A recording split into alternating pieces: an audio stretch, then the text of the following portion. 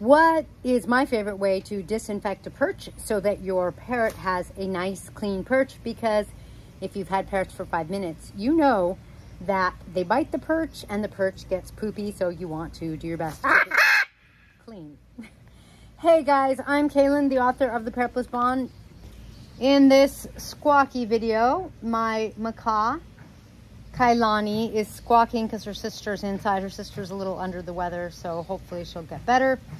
Um, and so she's like, where's my sister? Or where's my other monster? Um, I have over 20 species of parrots. I love parrots. If you want to get blissed out and if you want to learn a little about parrots, you're in the right place. Uh, if you're used to hanging out, thank you for hanging out. Love you guys. And let's get started.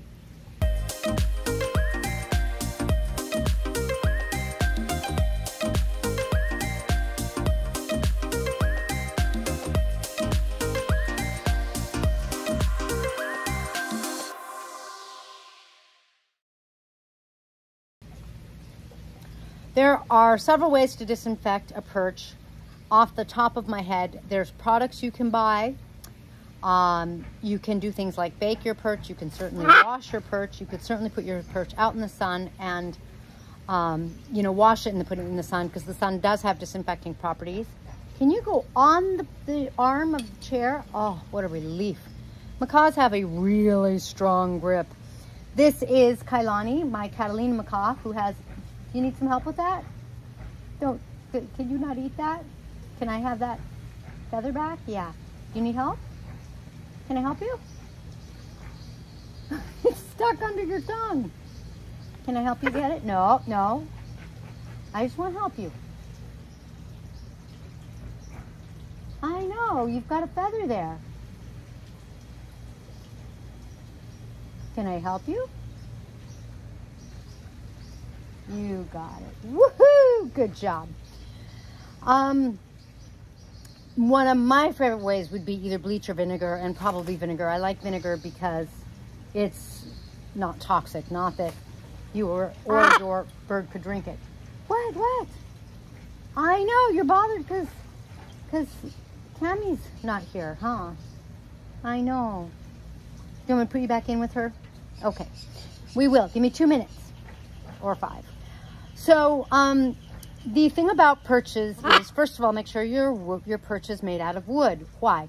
Because a plastic or metal perch is hard on these little feet. And these little feet, they don't grow back the way like when our skin like gets cut or worn down. Or the, the perches that are supposed to um, nail file their nails, but don't, but they do file down their skin. Be really logical about it, guys those perches, um, I could try to show you with my hand, but I mean, look at the way she's grabbing. Her nails are hardly on my hand or my finger, but her skin is. So that means that you want a soft wood material, not plastic, not metal, and certainly not a file. I don't understand. That's got to be one of the worst products for parrots. All it's going to do is wear their feet down and cause them all sorts of pain and all sorts of problems. Really bad. And like I said, the skin doesn't grow back. So, so you have a wood perch, I'm sure, because you want a blissful bond with your parrot. And you know that your parrot is not going to be blissed out if their feet hurt them. They're going to be unhappy. So you have a, a wood perch and no doubt you want to clean it. Um, for me, washing it with soap and water kind of thing and then spraying it with a mix of vinegar. I use a 50-50 mix, 50 water, 50 vinegar and then putting it out in the sun. To me, that's like triple you should be clean. I washed you with soap, I sprayed you with vinegar water, and then I put you out in the sun. And if that doesn't get things clean, I can't do anything else. In other words, um, you know, you could bake it in the oven, which is kind of cool. I, I, forget, I think you bake it like at 150 degrees for 20 minutes, that kind of thing. So that it kills anything that's living in there, any bacteria, that kind of thing.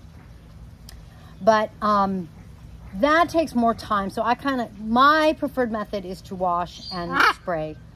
Uh, I also, I like rotating their perches because it gives them something new, which is exciting for them. And it gives you a chance to, you know, leave the perch out in the ah. sun and leave the perch untouched for a while.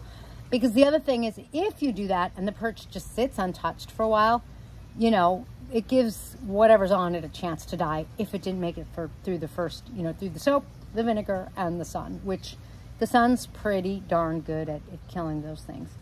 So there you have it. That is a small thing to help, um, you know, your parrot stay blissfully healthy because healthy parrots are blissful parrots or more likely to be blissful. Unhealthy parrots lose their bliss. If have any questions or comments, please be sure to comment below. I hope you liked the video. I hope you um, put some sort of comment and like. And then this girl or one of my other 20 plus species and I will meet you in the next blissful video where maybe I will tell you a little bit again, because I did it once before, about one of the best birds to buy right now.